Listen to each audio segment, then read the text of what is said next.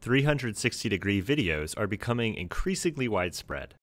Journalists, TV studios, independent artists, and amateurs often tell stories by editing together a sequence of 360 degree shots. Today, 360 degree videos play back so that a set of shots appears at a fixed orientation, irrespective of the user's field of view.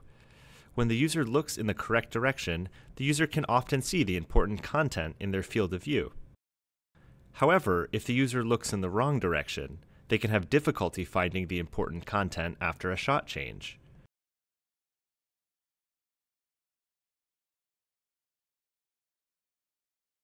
Or users might completely miss the important content in a shot. We explore new techniques designed to help users see all the important content in 360 degree video stories. The first technique, viewpoint oriented cuts, automatically reorients the shot at each cut, so the important content lies in the user's current field of view. These viewpoint oriented cuts let users explore the scene, and at each shot change, they're guaranteed to still see the most important content.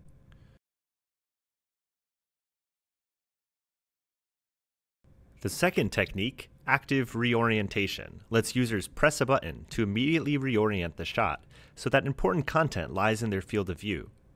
This way, users can explore the scene and only reorient the shot when they are ready. Active reorientation also lets users toggle between multiple points of interest in the scene.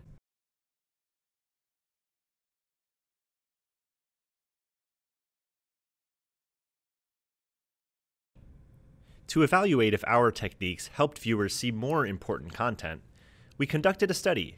We found that users view the important content for a significantly higher percentage of the shot time using our techniques than when using the standard technique.